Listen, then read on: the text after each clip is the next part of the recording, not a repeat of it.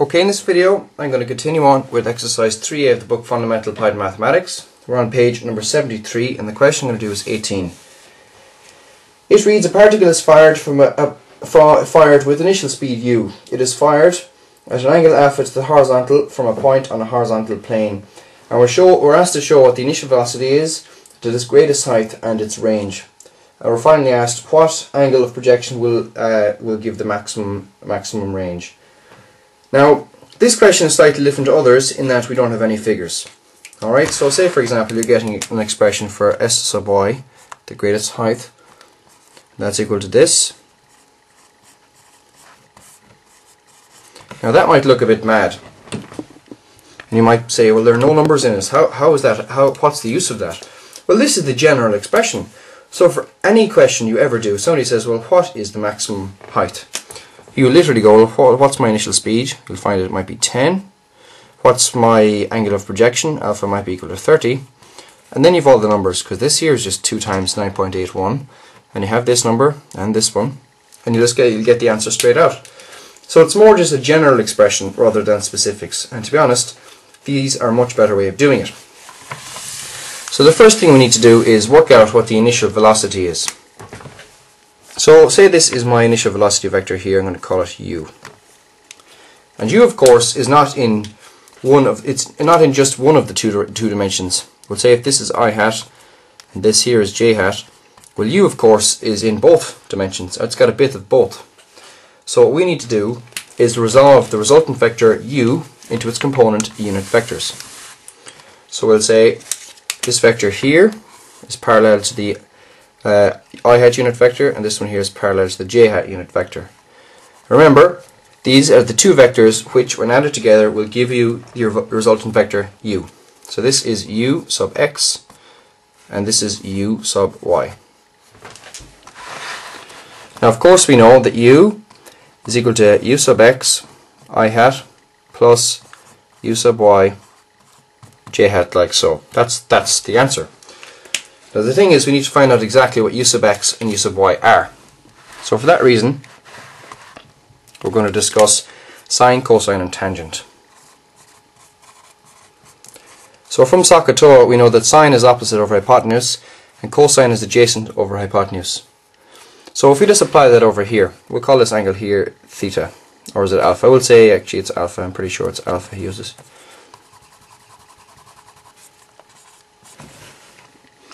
So what's sine of alpha? Uh, we're just going to call this the opposite and the adjacent rather than u sub x and u sub y. Therefore sine of alpha is equal to the opposite over the hypotenuse. And the hypotenuse is equal to u. Therefore the opposite is equal to u sine alpha. That's the first thing. Similarly, if you do cosine, you'll get that cos alpha is equal to the adjacent over the hypotenuse, which is equal to u. Therefore, the adjacent is equal to u cos alpha. We've done that before, that's nothing new to us. So as a result, we can say this, that u sub y is equal to u sine alpha, and u sub x is equal to u cos alpha. And as a result of that, you can write a full expression for this u here, by saying that it's equal to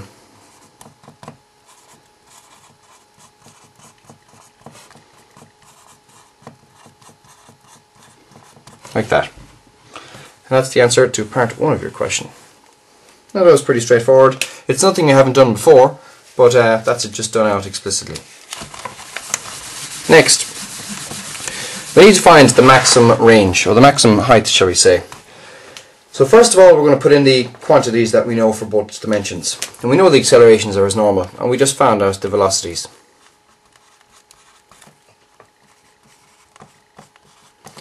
And t of course is the same.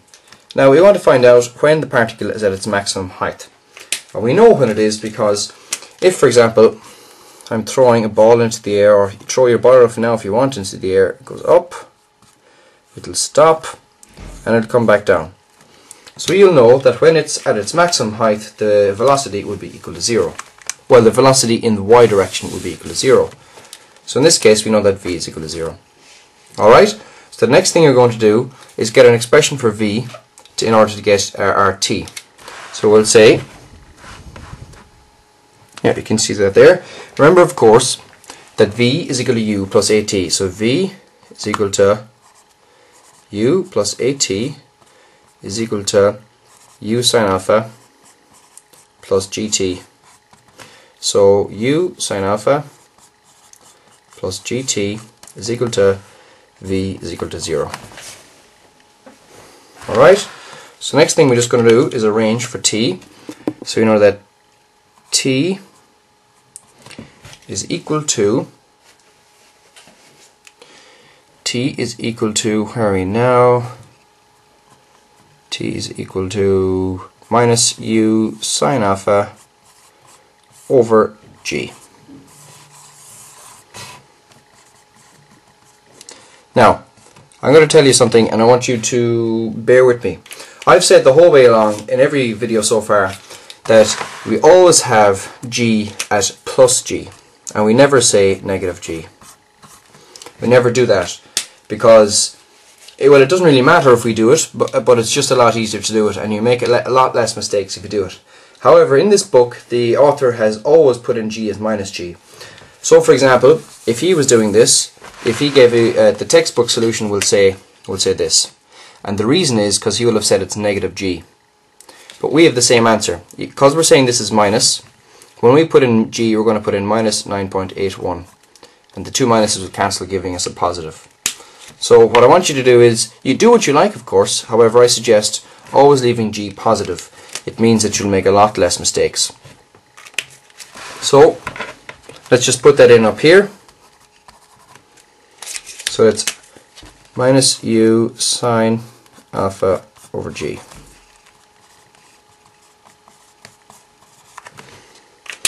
Now it's time to uh, it's time to just carry on. We're trying, of course, to find the range or s sub y. So what do we do is we let me so, so you can see that there. Yes, you can. So s is equal to ut plus a half at squared. So s sub y is equal to ut, which is u sine alpha t plus a half g t squared. And we know what t is already. So if you look at that, uh, if you look at that, you're going to see, um, yeah, it's it's going to it's to work out. So we're going to say s sub y is equal to u sine alpha t time or not t, excuse me. We've already we've said that. We're going to put in minus u sine alpha, and that's over g.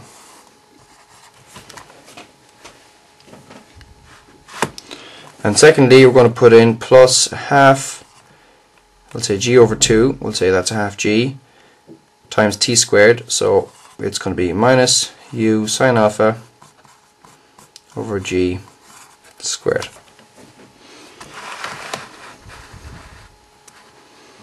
Alright, so now all we need to do is be careful with our algebra and we'll be flying it. So that's minus u squared sine squared alpha over g and this squared will get plus g over 2 u squared sine squared alpha over g squared. And of course the g will cancel with the g squared so let's get rid of that. Now that's equal to s sub y.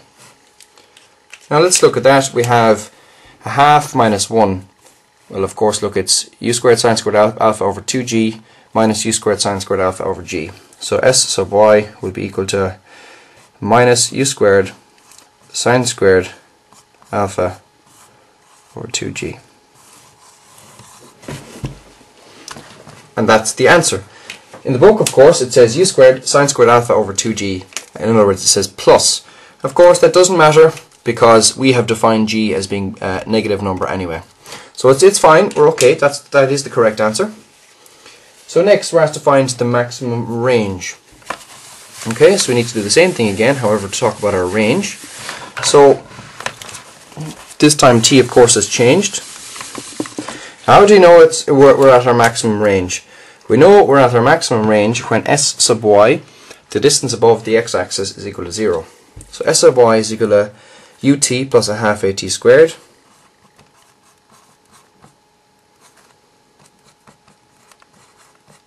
Like so. And we, we want that to equal 0. So we'll say u sine alpha t plus a half half gt squared is equal to 0. Like that. Alright. So let's see what we can get here. Just let me think now. I'm just going to have a look at my at some of my notes. Two. Okay, so I know what yeah I know what I'm going to do here now. All right, so that's just t plus a half. Now this is of course is a quadratic of degree two or polynomial of degree two or quadratic, and uh, we're just going to solve this as normal. Now I'm not going to use the formula minus b plus or minus the square root of b squared over 4ac or b squared minus 4ac over 2a because we don't have uh, a constant. So it's just going to be take out t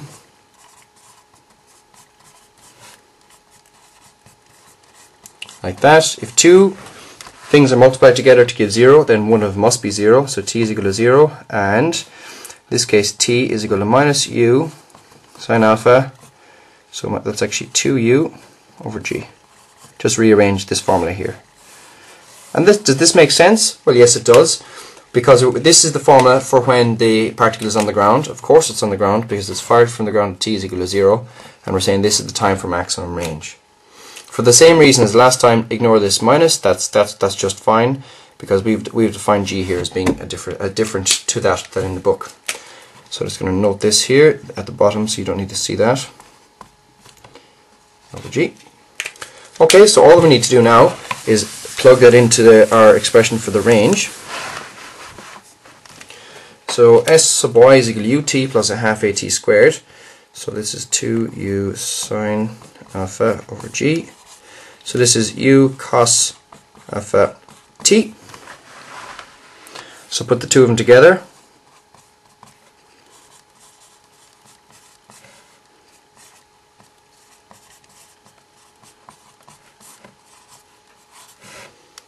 like that. And we're going to get minus 2 u squared cos alpha sine alpha over g. Now, where are my tables? Can I find my tables here anyway? Uh, sine, let me think there now for a second.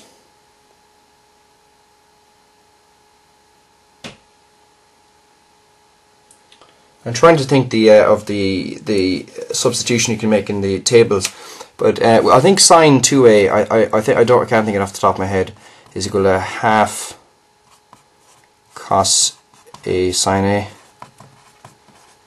I think that's what it is. Sine two a. Yeah, well look, just look in your tables and find out which one it is. It, it doesn't really matter. So all you'll do basically is you, you make your substitution. So you'll say, you'll, you put together your cos alpha, sine alpha, and you put that into sine 2 alpha. So you're going to get something like this. You're going to get minus, just one second there now, sine squared. Uh, yeah, it must be 2. Yes, actually I'll tell you what it is. It's sine 2a is equal to 2 sine a cos a. And what that means is if you look, you have 2 sine a cos a. So therefore what we actually have is equal to sine 2a so we'll say that this is equal to minus u squared sine 2a or 2 alpha over g. And what do we look? If you look in the book, that's exactly what we have. Uh, of course, he has a positive, but remember we've defined gravity as, as different, so it's the same answer. So that's that correct. And finally, then we're asked to find the the maximum range. Maximum range, and I would do this differently. I do this via calculus I would do this via calculus. Maximum range. Do you know something? I'm going to do a separate video on uh, how to find the maximum the maximum range because, uh, like I said, I do it via calculus, something which you won't be able to do in fifth year. But doing your leaving certs and having done, we'll say, the end of fifth year, you'll definitely be able to do that. So look, I'm going to leave it for there. Thanks for watching. Please pass it on to your friends and subscribe to my channel.